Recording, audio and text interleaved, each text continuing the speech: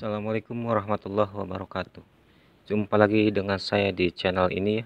Seperti biasa saya akan memberitahukan cara verifikasi rekening bank yang gagal tiga kali ya.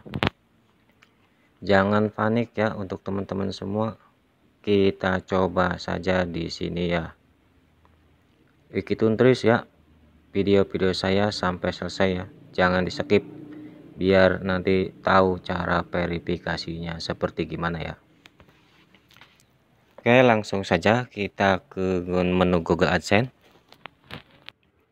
untuk teman-teman ya diusahakan tenang jangan panik ya. Karena pengalaman saya juga seperti begitu ya. Waktu pertama saya verifikasi rekening bank atau PIN dari bank atau juga kiriman pertama saldo dari Google AdSense itu saya juga sangat begitu. Tapi kalau umpamanya diabad dengan tenang Insya Allah ya akan mudah dikerjakannya. Kita langsung saja ya verifikasi. Ini video udah lama banget ya baru ketemu sekarang makanya saya di upload loh karena untuk pengalaman saya ya seperti begini.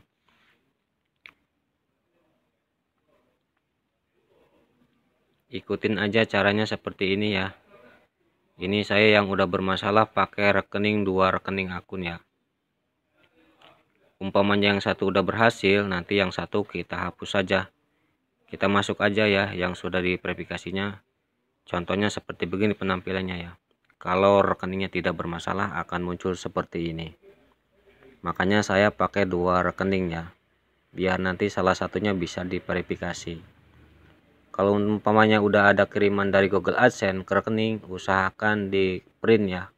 Kalau di ATM kalau di buku tabungan usahakan di print di galeri apa di counternya ya.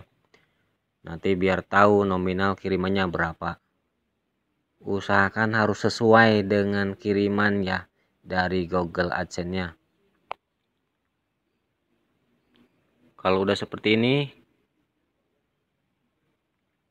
diusahakan dicek kembali ya karena nanti verifikasinya nggak bakal bisa sampai tiga kali lebih ya.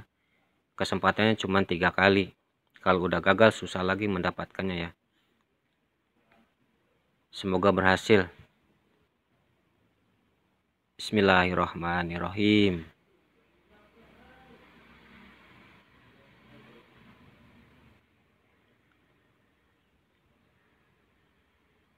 Nah, di sini tulisannya selamat rekening Anda telah diverifikasi ya. Berarti ini nomor rekeningnya udah berhasil diverifikasi untuk menerima pembayaran berikutnya. Nanti ada pemberitahuan dari email juga ya masuk kalau emang sudah sukses diverifikasi. Kita buang aja ya atau hapus saja rekening yang sudah tidak kepakainya biar nanti tidak mengganggu ya.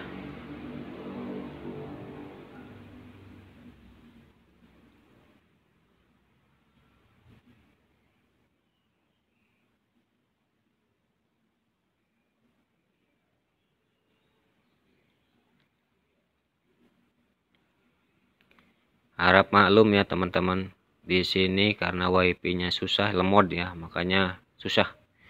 Nah di sini sudah muncul seperti ini kita hapus saja ya.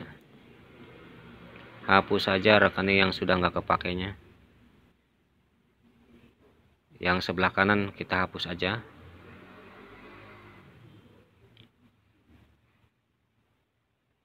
karena yang sebelah kiri itu udah berhasil jadi tidak ada pemberitahuan verifikasi tertunda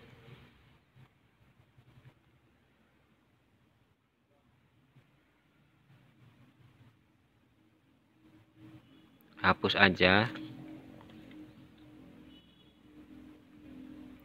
Jangan sampai salah hapus ya.